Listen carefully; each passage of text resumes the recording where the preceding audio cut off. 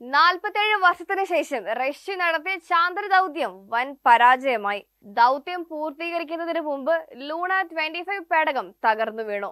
ഇന്ത്യയുടെ അഭിമാന സംരംഭമായ ചന്ദ്രയാൻ മൂന്നിനൊപ്പം ചന്ദ്രനിൽ ഇറങ്ങുമെന്ന് പ്രതീക്ഷിച്ചിരുന്ന റഷ്യൻ ബഹിരാകാശ പേടകമാണ് തകർന്നു വീണത്. ഇക്കാര്യം റഷ്യൻ ബഹിരാകാശ ഏജൻസി സ്ഥിരീകരിച്ചു. ചന്ദ്രന്റെ ഭ്രമണപഥത്തിൽ പ്രവേശിച്ച റഷ്യയുടെ പേടകമായ ലൂണ ട്വന്റി ഫൈവ് ചന്ദ്രനിൽ തകർന്നു വീണതായി റഷ്യയുടെ ബഹിരാകാശ ഏജൻസിയാണ് അറിയിച്ചത്. പേടകത്തിന് സാങ്കേതിക തകരാർ നേരിട്ടതായി അവർ ഇന്നലെ അറിയിച്ചിരുന്നു. അസാധാരണ സാഹചര്യം നേരിടുന്നുവെന്നാണ് റഷ്യയുടെ ബഹിരാകാശ ഏജൻസി അറിയിച്ചത്. ചന്ദ്രന്റെ ദക്ഷിണ ധ്രുവത്തിൽ നാളെയാണ് ലൂണ ഇറങ്ങേണ്ടിയിരുന്നത്. ഇതിനു മുന്നോടിയായി പേടകം താഴ്ത്തുന്ന പ്രക്രിയക്കിടെ സാങ്കേതിക പ്രശ്നം ഉണ്ടായെന്ന വിവരമാണ് ലഭിച്ചിരിക്കുന്നത്. ഇതിന് പിന്നാലെയാണ് ലൂണ ട്വന്റി ഫൈവ് തകർന്നതായി റഷ്യ സ്ഥിരീകരിച്ചത്. അതേസമയം ചന്ദ്രഗർത്തങ്ങളുടെ ലൂണ അയച്ച ആദ്യ ദൃശ്യങ്ങൾ റഷ്യ ഇന്നലെ പുറത്തുവിട്ടിരുന്നു. അരനൂറ്റാണ്ടിന്റെ ഇടവേളയ്ക്ക് ശേഷമാണ് ചന്ദ്രനിലേക്ക് റഷ്യ പേടകം അയച്ചത്.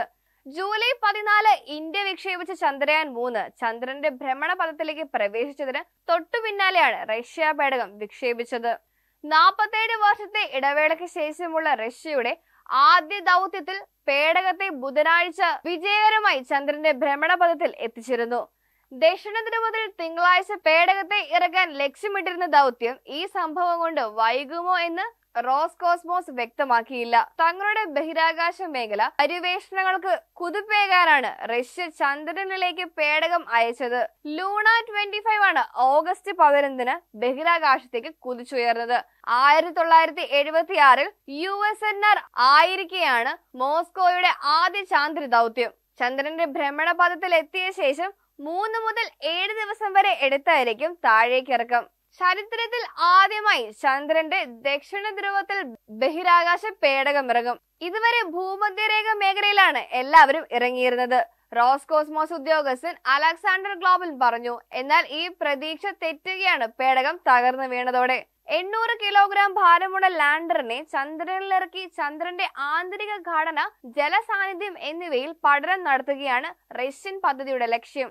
ശാസ്ത്രീയ പഠനങ്ങൾക്കുള്ള മുപ്പത്തൊന്ന് കിലോഗ്രാം ഭാരമുള്ള ഉപകരണങ്ങളും ലാൻഡറിൽ ഉണ്ടായിരുന്നു. സോവിയറ്റ് യൂണിയൻ അമേരിക്ക ചൈന എന്നീ രാജ്യങ്ങൾ മാത്രമാണ് ചന്ദ്രനിൽ വിജയകരമായി സോഫ്റ്റ് ലാൻഡിംഗ് നടത്തിയിട്ടുള്ളത്.